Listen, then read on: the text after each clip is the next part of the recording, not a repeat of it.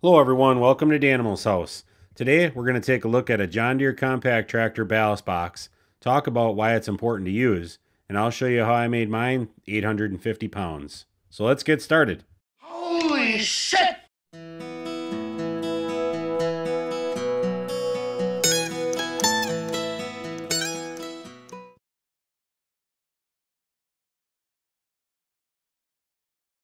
So here's what we're working with today, everyone. We've got a John Deere 3039R compact tractor, a 320R loader, and then a Category 1 iMatch hitch with a standard ballast box. So the ballast box is going to come empty. You can put anything you want on there. And the general idea is it's just supposed to give you some counterbalancing weight uh, near the back of the tractor. So sometimes you're doing simple projects with those loaders and pallet forks out there.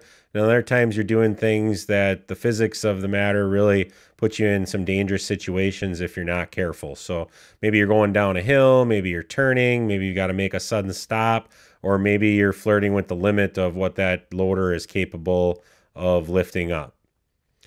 So what I did here is uh, get the empty ballast box. And what I thought is if I can put anything I want in there, I want something that can go out of the ballast box if I want to transport it or otherwise move it or sell it. And I wanted something that was as heavy as possible.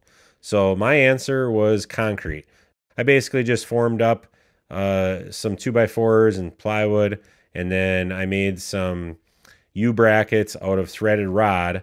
And then once that all set up, I bolted some D rings onto the top of there.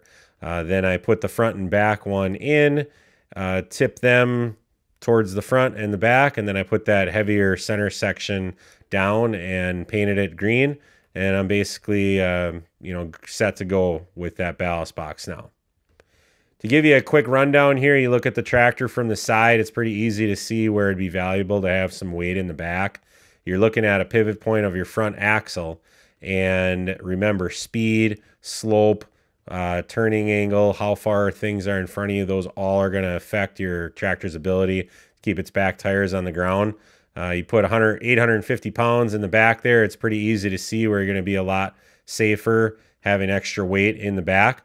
So basically, anytime I'm going to do any type of heavy lifting with the front, even just simple stuff like loading up a trailer or, or uh, moving dirt around, it's really nice having that that weight back there. It stabilizes everything for me. So uh, hope you enjoyed this episode. If you like it, go ahead and click for me. If you haven't already, please subscribe. And we'll see you on the next episode of Danimal's House.